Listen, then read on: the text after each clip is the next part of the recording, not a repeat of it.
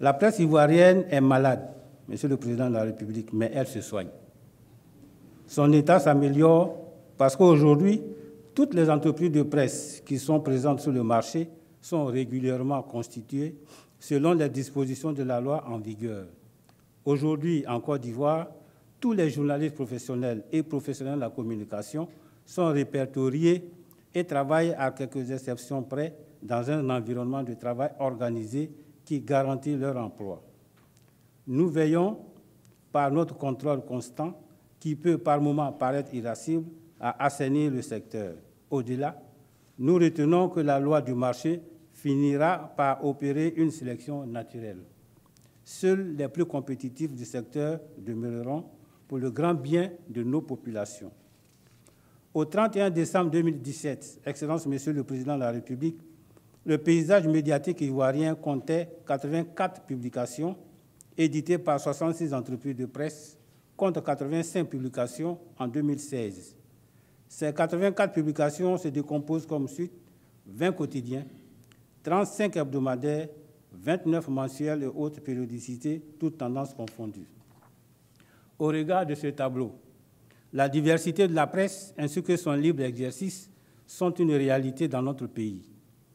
Le classement de Reporters sans frontières, dans son rapport sur le classement mondial de la liberté de la presse 2017, positionne la Côte d'Ivoire à la 81e place. La Côte d'Ivoire a ainsi gagné 5 places par rapport au classement de 2016, où elle était à la 86e place. Ce rapport a également indiqué qu'aucun cas d'exaction violente à proprement parler contre les journalistes n'a été recensé. Excellence, Monsieur le Président de la République, tous ces résultats sont à mettre à votre actif et à celui du gouvernement, qui ne ménage aucun effort pour créer au profit de vos compatriotes et ici des journalistes des conditions favorables d'exercice de la profession. Au-delà de cet environnement paisible de travail, la presse ivoirienne est à la croisée des chemins. Elle qui avait connu son printemps se trouve face aux réalités des évolutions vertigineuses de son secteur avec lesquelles elle doit désormais compter. La presse ivoirienne fait sa mue. Pour cela, elle a besoin d'être véritablement soutenue pour réussir ce défi. Cela, le gouvernement l'a bien perçu sous votre autorité. Les divers appuis apportés à la presse sous la direction de Monsieur le ministre de la Communication et également les couleurs annoncées par la nouvelle loi sur la presse donnent à espérer. Le présent rapport d'activité, Excellence Monsieur le Président de la République, s'articule autour de quatre grands axes. La présentation du CNP, l'état des lieux de la presse, les principaux faits et activités du monde de la presse, les activités du CNP. Au titre de la présentation du CNP, le CNP, depuis sa dernière cérémonie de présentation de son rapport d'activité au Président de la République, a vu son conseil renouvelé de plus la moitié de ses membres par le décret numéro 2016-513 du 13 juillet 2016 portant nomination des membres du Conseil national de la presse. Au titre de l'état des lieux de la presse, les statistiques de vente.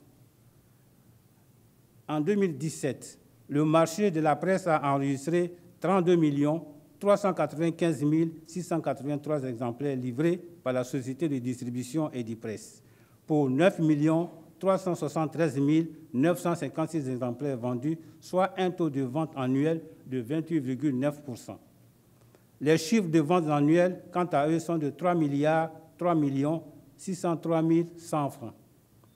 Comparativement aux statistiques de l'année 2016, qui enregistraient une vente de 11 346 130 exemplaires pour un chiffre de vente de 3 milliards 667 425 200 francs, les ventes de 2017 sont en baisse, avec un taux de croissance négatif de moins 17,47% Atteinte à la liberté de la presse.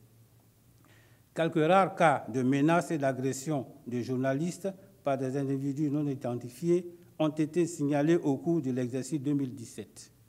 En dehors de ces cas, aucun journaliste n'a été interpellé ni emprisonné, encore moins perdu la vie dans l'exercice de ses fonctions. Au titre des faits et activités du monde de la presse, formation et renforcement des capacités des journalistes, les journalistes ont bénéficié de nombreuses formations et de renforcement des capacités de diverses structures, tant nationales qu'internationales, au cours de l'année 2017.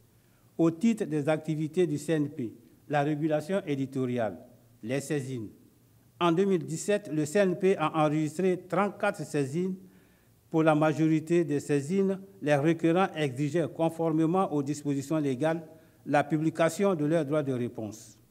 Le nombre résiduel de saisines concerne des cas de déséquilibre d'information, d'accusations sans fondement, de non-respect par des éditeurs de presse de leurs obligations sociales. Les autosaisines. Le CNP a enregistré 12 autosaisines au cours de l'année 2017.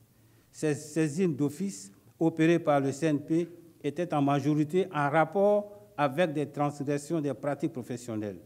Tout comme les saisines, les autosaisines se sont soldées par des sanctions de second degré selon la gravité du manquement ou par de simples interpellations ou mises en garde. Les sanctions. Au cours de l'année 2017, le CNP a enregistré 191 interpellations et infligé 173 sanctions de premier degré, dont 152 avertissements et 21 blâmes, ainsi que 26 sanctions de second degré, dont 11 liées au contenu rédactionnel et 15 à la non-conformité des entreprises de presse aux conditions relatives à leur création et à leur existence. La régulation économique. Depuis le 23 octobre 2012, le Conseil national de la presse a décidé de mettre en puissance sa mission de régulation économique des entreprises de presse. Cette opération annuelle, dénommée Mission de contrôle et d'évaluation de la gouvernance des entreprises de presse, a été reconduite en mars 2017. L'objectif de la régulation économique entreprise par le CNP est de, donner est de doter la Côte d'Ivoire d'entreprises de presse compétitives susceptibles de générer des résultats d'exploitation bénéficiaires. Il s'agit aussi de mettre le personnel de ces entreprises à l'abri de l'angoisse existentielle pendant leur période active et également après avoir été admis à faire valoir leurs droits à la retraite. Au terme de ces opérations, le secteur des entreprises de presse devrait être plus viable, apte à dégager des bénéfices grâce à une ressource humaine compétitive et motivée le Collège des membres du CNP, à sa séance du 7 décembre 2017, a suspendu 15 entreprises de presse dans le cadre de la régulation économique pour non-conformité au texte en vigueur après des mises en garde demeurées infructueuses. Excellence, Monsieur le Président de la République, le secteur de la presse est vivant. Il est animé, d'une part, par ses acteurs eux-mêmes, qui chaque jour s'organisent un peu plus afin de trouver des réponses à leurs préoccupations, d'autre part par le ministère de tutelle, qui lui apporte un appui considérable, et également par plusieurs institutions nationales et internationales qui ont compris le rôle important de la presse dans la bonne marche d'une nation. Excellence, Monsieur le Président de la République, la liberté et le pluralisme de la presse, l'indépendance des médias et la liberté des journalistes, nous le savons, sont au cœur de vos missions votre soutien à la presse ne cesse d'accroître.